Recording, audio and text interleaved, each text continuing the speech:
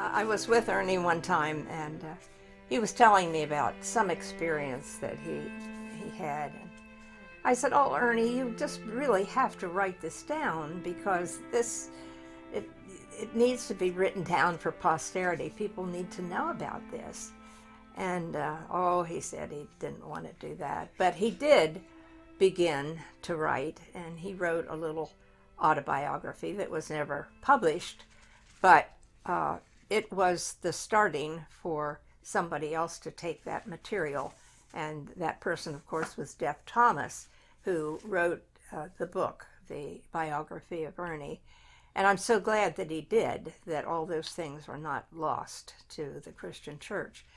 Uh, people outside of Carlisle, well, people know Ernie a lot of places, but you say the name Ernie Reisinger and people don't know who you're talking about. So, who was Ernie Reisinger? He was many things to many different people. I've already said he was a self taught man, he was intelligent, uh, but he had a heart for God. And I always say, this is what God can do with somebody who has a real heart for Him. Uh, the things that Ernie accomplished, we'll never know. The thousands and thousands of people's lives that he touched by his letters, his speaking, his personal work, uh, we'll never know. I first knew Ernie back in 1951 when I was in my early 20s, and my husband was still in law school and for the summer, he needed to have a job to make some money. We had a little boy, seven months old. And so uh, Ernie Reisinger had a construction company in Carlisle. At that time, it was a small construction company. And uh, my husband, whose nickname was Duke, everybody called him Duke, and his brother Roger went to work for Ernie for the summer in construction. Uh, but people said, Oh, you're going to work for Ernie Reisinger. Look out for that guy because he's a religious fanatic and he'll want to talk to you about Jesus right away. And he'll probably take 10% from your paycheck for his church. But anyhow, Ernie did talk to Duke about the Bible, and Duke would come home and bring little tracts and things home, and I just kind of and one time he brought home books to read, and I said, Why did you bring those books home? You know you're never going to read them. And he said, Well, Ernie pushed them on me. Well, he needed a job again for the summer and went to Ernie, and Ernie said, Tell you what, I would like to make an investment for the Lord. How about you just come down here to my office in the morning and we'll talk? And I'll give you some books to read give you a, a New Testament and and we'll talk and I'll pay you $50 a week. Well, that was in 1952. $50 a week was a lot for us. Now it wouldn't be very much, but so Duke did that for a number of weeks. Another thing came up. Ernie invited us to a Bible study uh, at Sandy Cove, Maryland, a Bible conference ground and Dr. Donald Grey Barnhouse was going to be the main speaker. So we went. I mean, it was a free vacation and we didn't have any money, but I was embarrassed to tell friends I was going.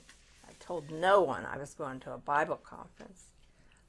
But it was that week at Sandy Cove that the Lord changed my mind, my heart, and, and my life.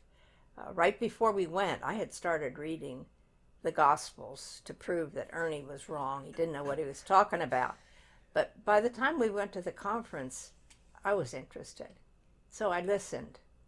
And the Lord spoke to my heart through Barnhouse and other speakers that they had there and just changed our lives uh, completely.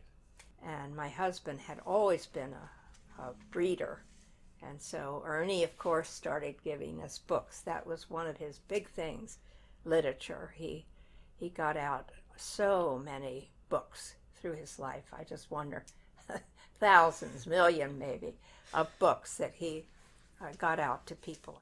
He would uh, go out to eat, and he would, if he had a, a waitress, and he would talk to her and and talk to her about Jesus. Did she go to church, and did she have any children? And he would try to get that same waitress next time he went in. He, he came to uh, be friends with these people. So he was unusual in that he, he just had such a zeal uh, to serve the Lord. He, he remained with his feet on the ground as far as a business, but then he did go into preaching. He became a Southern Baptist preacher in, in Florida, several. So he was a person who challenged you. He challenged me, uh, tried to be like him in many ways. Not in all ways now. We must remember he had some warts, but he just uh, was so eager to get people to know the Lord Jesus Christ. When I got the telephone call early in the morning that Ernie had gone to be with the Lord, uh, I just thought about Elisha and Elijah when Elijah uh, was taken from him up to be with the Lord. And Elisha said, uh, My father, my father. And that's just the way I felt.